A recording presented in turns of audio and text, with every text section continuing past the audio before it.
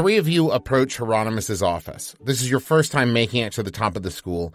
All three of you make a perception check. I thought you were going to make us roll athletics for like all of the mini, mini. That's up to you that- guys. Yeah, you can decide how winded you are. Ooh, that's really good. Uh, 24. Uh, that's a 18. 19 plus 3, 22. Uh, you guys percept Jeez. the hell out of some stuff. Um, so first, you see that the door is hanging off of its hinges. Not that it's been damaged, but rather that the door frame has warped and twisted and the door simply no longer fits. Second, you are being hit by waves of pure white hot rage.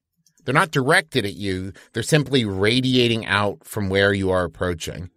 And the force of will behind them is such that you can see them make visible ripples in the air. And just as you realize this, you hear a roar and it says, You! And all three of you make a strength saving throw. Wow. We are throwing. Oh, baby. That's a 16 plus 7, 23. Um, 19 plus Wicked. 1, Fuck. 20. Dirty 20. Um, Also good, Juice, right?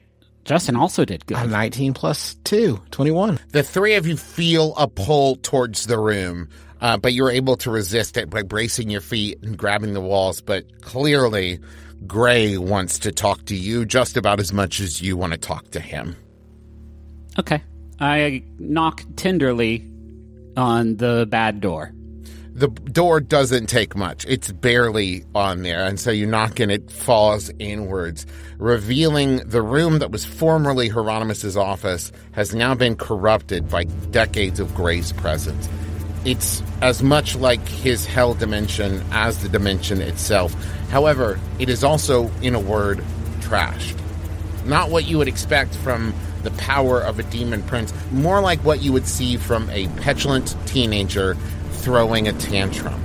There's destruction everywhere, and in the space below the ceiling, the ceiling is much higher than it should be. You see swirling debris, rocks, chunks of furniture, bits of stone from the walls, all swirling like a slow, angry tornado. And in the center of the destruction is Gray. Gone is any resemblance to Hieronymus. He towers over the three of you, his wet slate patterned skin pulled tight over unnatural muscles. His horns twist and turn back on themselves. Long obsidian talons flex at the end of disturbingly thin fingers. And one more thing his eyes are filled with hatred, and they are focused on you, Fitzroy. And he says, You did this, you hypocrite! What did I? What? I just got here. You. s- I just came up the stairs. What did I? What could I possibly have done? Make a dexterity saving he's gonna keep throwing stuff, I'll. I'll, I'll just leave. Fifteen plus two, seventeen. A piece of furniture broken from the swirl above you flies down, smashes into your shoulder, uh, and does four points of damage as you dodge out of the way. Clearly, he was aiming for your head.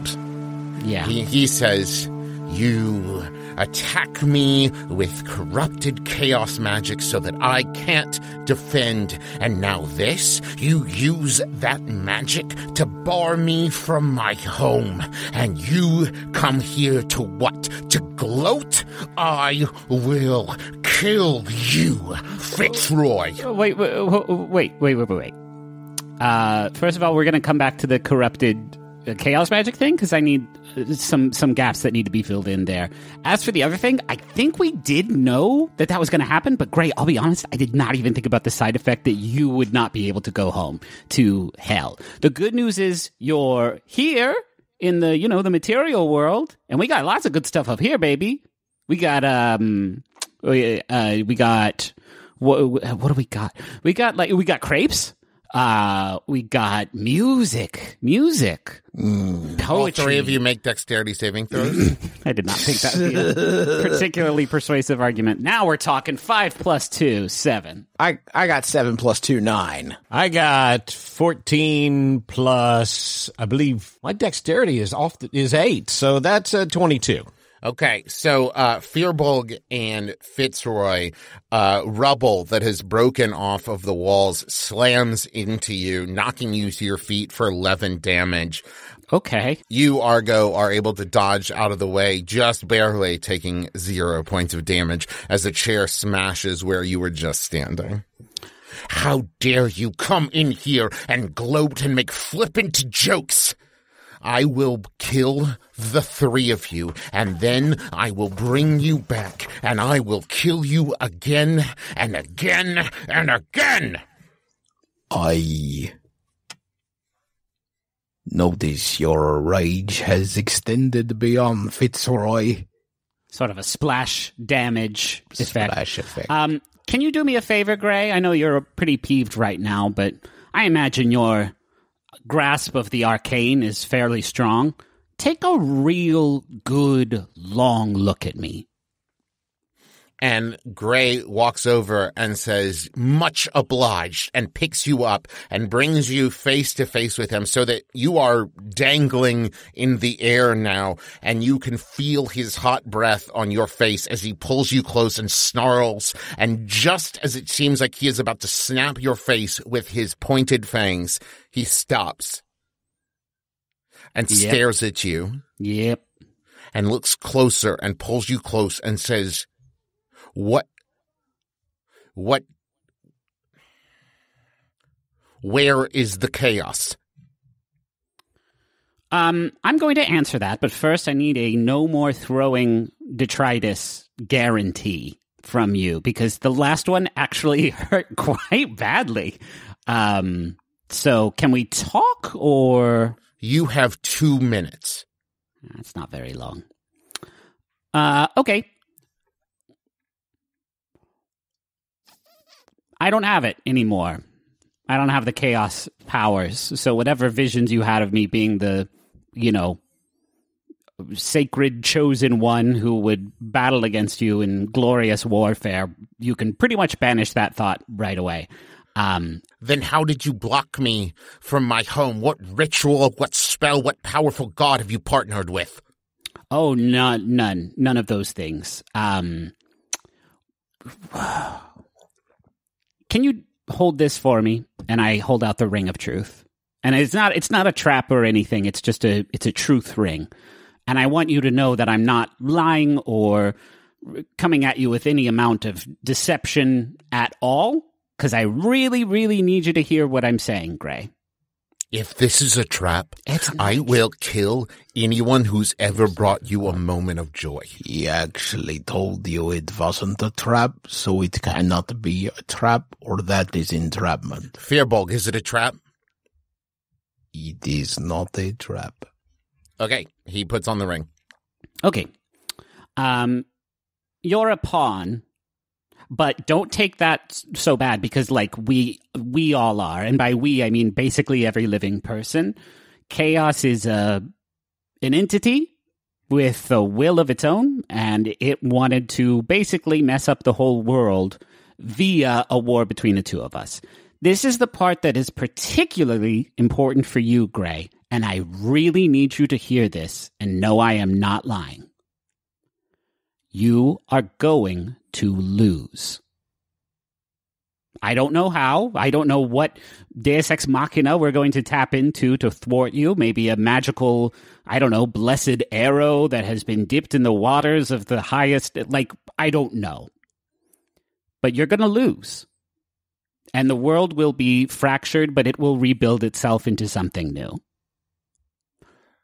Just to clarify, Yep. You think I am going to lose because of some masterful strategy you have? Oh, no. Or you know I'm going to lose? Uh, but if you could see my intelligence sort of rating, by which I mean, I guess my grades, you would know that I, a master strategist, I am not. You're going to lose because that's part of the plan. Not my plan, the plan of the actual embodiment of chaos and order. So those are the, that's, that's the path we're on right now. And we don't want to be on that path. And we're assuming that you now super don't want to be on that path. Do you follow me so far? Yes. So if according to what you're saying, if this war goes forward, I will lose. You will lose, and hell will be the dominion of the winners, which I guess is us. You I lose don't know everything. what I would do with hell. I don't know what I do with hell either. We could turn it into a pretty badass rec room or something. Income property. So, if I wanted to avoid that fate, all I have to do is kill you now. Damn it. I didn't think about that, Gray. I'll be straight with you. But if you do that, you're never going home. Explain. I mean, who do you think uh, allowed the, the barrier between our worlds to be pierced? I think your I take your silence as a sort of slow uh, coming to grips with the truth of the matter. Why would chaos and order lock me from my home? How does that benefit the war they desire? I'm going to be straight with you. I don't think they care about you at all. So where, where you end up, whether you live or die, it's not necessarily the most important thing to them. I'm sure that you were an afterthought when they when they patched up the hole, so, so to speak.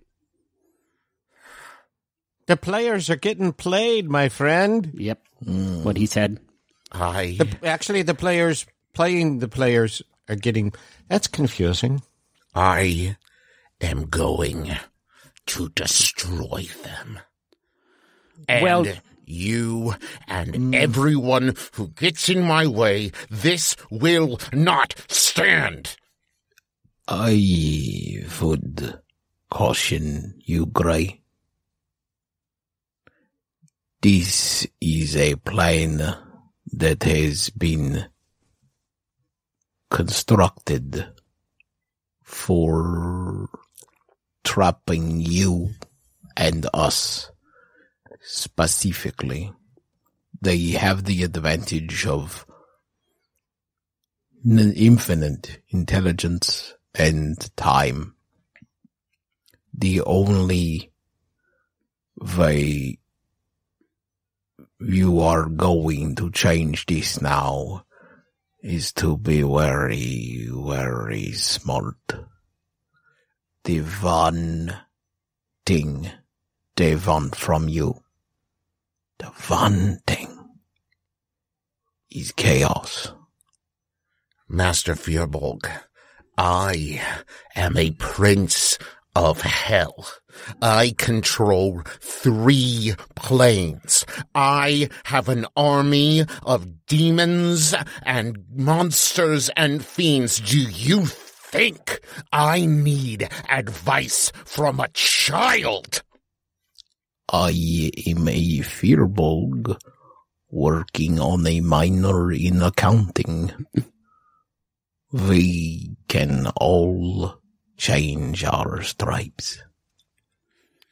and he turns in a rage and continues to demolish the room, smashing desks and chairs and bookshelves. But the one thing he is not attacking, notably, is the three of you, which seems like progress. A victory, yeah.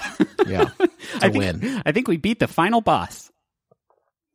And after, let's say, far longer than it should have taken for him to expend a bit of his energy, he turns huffing and says, So, why come to me?